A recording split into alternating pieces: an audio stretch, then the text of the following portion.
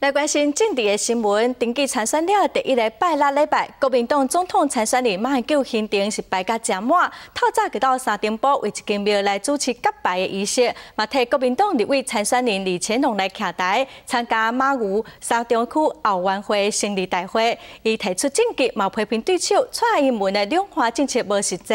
怎么大选的慰安工作已经由国安局来接手？局长蔡德胜今仔冇出现伫会场。一透早广告三点半，火山宫烧香，国民党总统参选人马英九嘛主持个拜仪式。随后马去东一位参选人李乾隆的竞选总部徛台，争取沙田堡选民的支持。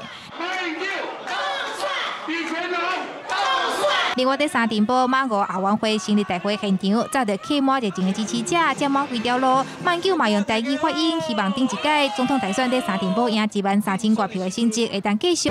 马不为记者要批评对手蔡英文连环政策不实际。九二共识是搁置争议、共创双赢最好的办法。他不尊重这样的一个设计，他说将来找机会再跟大陆来协商。我讲贵伯伯，那是不可能的代志。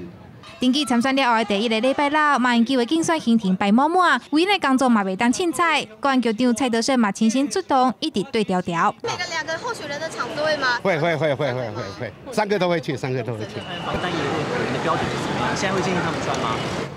我们一直强调嘛，要有这个安全上的顾虑，我们才会建议。